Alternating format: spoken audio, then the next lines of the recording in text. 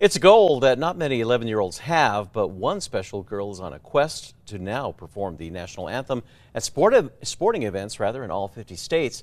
And Albuquerque is her next stop. Now, News 13's Karla Sosa gives us a look at where she's going to be performing and what made her want to achieve this dream. With a violin in one hand and her bow in the other, 11 year old Sabrina Patel is ready to play the national anthem.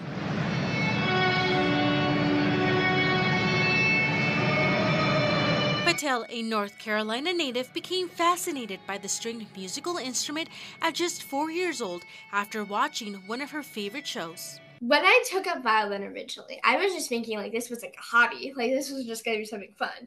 But like I never realized this would turn into something like so big and so amazing. It wasn't long before her passion for playing prompted the idea of playing the national anthem at sporting events in all 50 states. Up to now, one of her major performances was a Major League Baseball game between the Detroit Tigers and Texas Rangers during the American League Championship Series.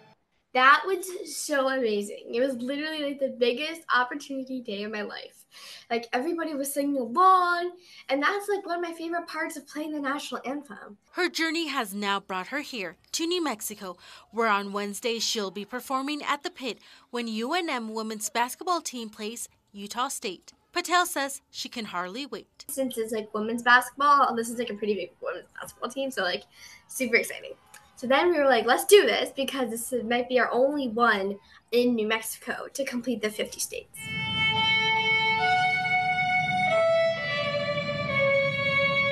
Even after performing in 17 states, Patel says she still gets the same adrenaline every time, knowing she's about to play a song that means so much to the nation. It's amazing.